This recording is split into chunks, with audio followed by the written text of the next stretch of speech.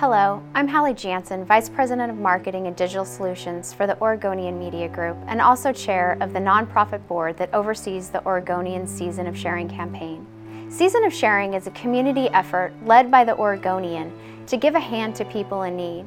Since 1931, the annual campaign has taken a variety of forms, but always at its heart is about giving ourselves to make our community a little brighter. In the grips of the Great Depression, local doctors and attorneys began holding one-day parties for underprivileged kids and children of veterans. The holiday effort was picked up by a group affiliated with the Oregon Journal newspaper. They visited hospitals and fraternal organizations and handed out stockings filled with treats. The Oregonian, which merged with the Oregon Journal, has continued the giving tradition to this day with Season of Sharing. Each year, Hundreds of nonprofits are invited to apply for a grant from the Season of Sharing. A panel of volunteers from the Oregonian picks a handful of the many worthy endeavors to give extra support that comes along with Season of Sharing.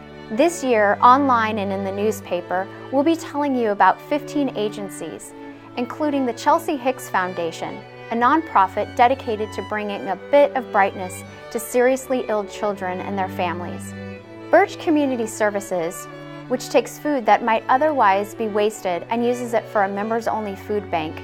Mothers can give their kids fresh produce that had been previously considered luxuries. And Family Building Blocks, an agency that helps troubled adults become better parents, protecting kids from abuse and helping them out of the foster care system.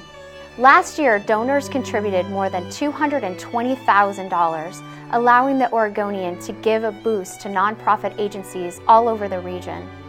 We will combine your generous gifts, multiplying their power, and share them among agencies to shelter the homeless, feed the hungry, help the disabled, and support families as well as those who find themselves alone and in need of a hand. All donations are tax deductible, and it's as easy as clicking on the link on this page. Thank you for your generosity.